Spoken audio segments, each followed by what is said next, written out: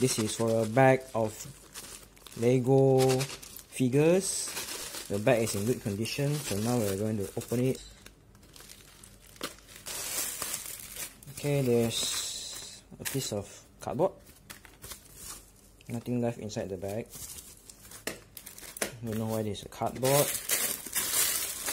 It comes with the manual and the cloth or the cape. This is the part for the saber. The plastic is not very clear. The back looks a bit dirty, it's not clear, but it doesn't look like it's been opened before. Um, so far so good, we have to install it, assemble it and see whether it's complete or not.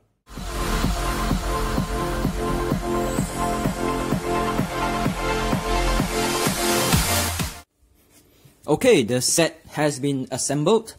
Just a reminder, this is the copy of the LEGO set number 75117. This is called the KSZ606. So this is basically a one-to-one -one copy in terms of design. As you can see here, it can it is very posable. I have it here in a very low attack position. So the design in terms of the pieces, uh, articulation is exactly the same as the original one but there is differences in the quality.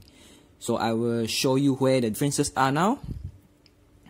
The first one is the material of the cape so the Lego one is more like a cloth whereas this is more like a piece of plastic sheet. And because it came folded in the set I have not been able to straighten it out so you can see a crease where it's folded same as the front. The front piece is the same material. Shiny and plasticky. Another quality issue is the print on the helmet. So the print on the helmet is slightly higher than it should be. It's not aligned you can see here inside the visor there's a bit of silver color. So the print has shifted up.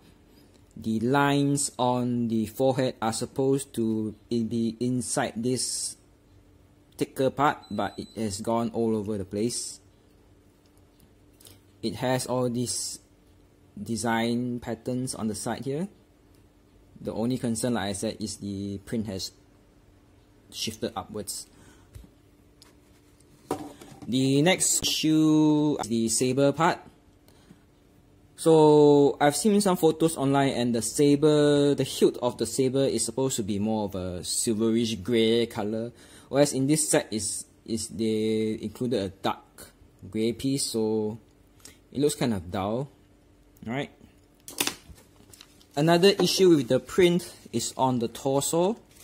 The torso of the figure.